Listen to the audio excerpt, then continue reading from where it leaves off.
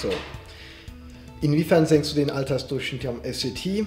Vermutlich senke ich ihn nicht, sondern steigere ich, aber ich weiß nicht wie um wie viel. Was macht dein Büro zu deinem Büro? Ähm, mein Arbeitskollege und sowie auch mein Chef, mit dem ich mich gerne ab und zu unterhalte, nicht immer über die Arbeit und auch ein paar Actionfiguren, die ich auf meinem Tisch liegen habe von irgendwelchen Spielen oder was weiß ich.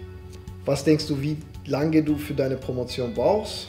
Ähm, ideal wäre es ein paar Monate, ähm, realistisch noch ein paar Jahre. Worst case will ich nicht daran denken. Wie viele Stunden sitzt du auch zu Hause vor dem PC? Leider auch schon viel, ähm, sollte ein bisschen weniger sein. Ja.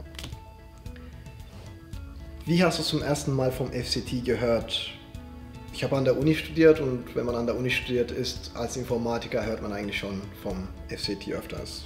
Ähm, ich glaube, durch Kollegen war das. Was passiert, wenn der Kaffee leer ist? Weltuntergang.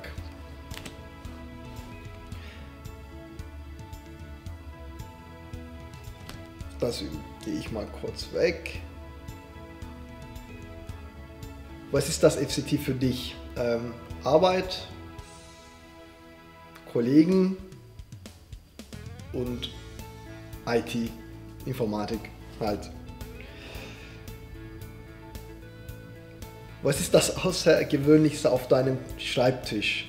Ja, die werden vermutlich die Actionfiguren, die die Kollegen immer wieder nachfragen, aus welchem Spiel die sein sollten.